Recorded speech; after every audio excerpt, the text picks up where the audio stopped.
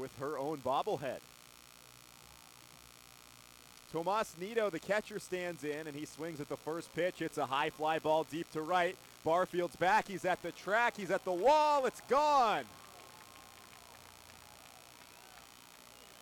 Nido goes yard with two outs in the top of the fourth. And with one swing, the game is tied up at two.